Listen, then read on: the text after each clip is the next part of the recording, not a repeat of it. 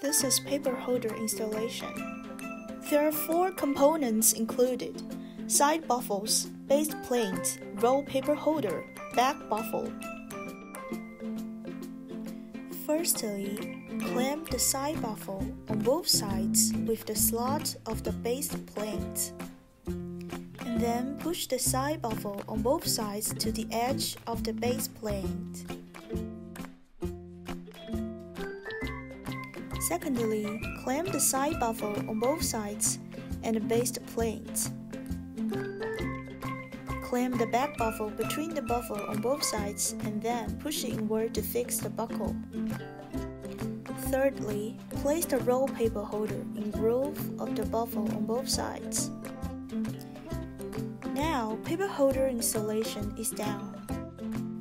Whether it is fan fold paper or roll paper, printing process is very convenient and fast.